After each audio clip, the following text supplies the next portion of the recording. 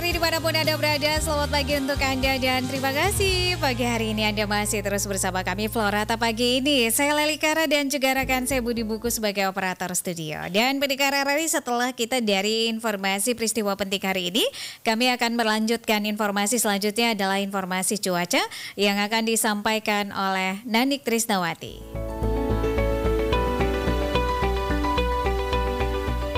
Sesaat lagi, info cuaca. Pro 1 RRI ND.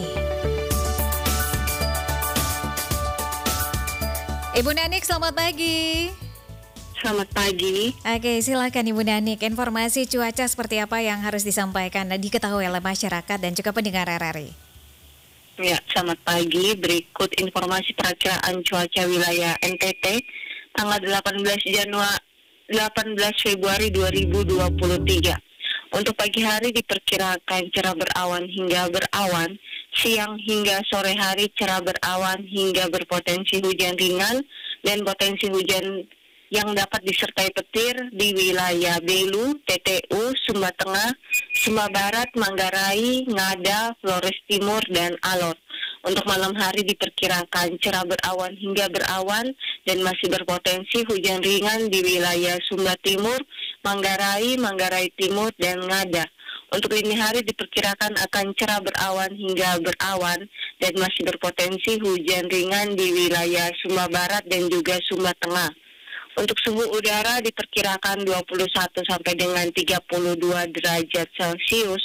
Untuk wilayah Ruteng dan Bajawa suhu udara diperkirakan 19 sampai dengan 26 derajat Celcius dengan kelembaban udara berkisar 75 sampai 95 persen dengan angin dari arah barat daya hingga barat laut dengan kecepatan 10 hingga 30 km per jam dan peringatan dini yang dikeluarkan waspada potensi hujan yang dapat disertai petir dan angin kencang untuk wilayah Manggarai Barat, Manggarai Timur, Ngada, Alor, Belu dan juga Kabupaten Malaka. Demikian informasi perakiraan cuaca untuk hari ini. Terima kasih. Oke, terima kasih Bu Nadik untuk informasinya. Selamat pagi, selamat menjalankan aktivitasnya kembali. Demikian informasi cuaca kerjasama RRIND dan BMKG Eltari Kupang.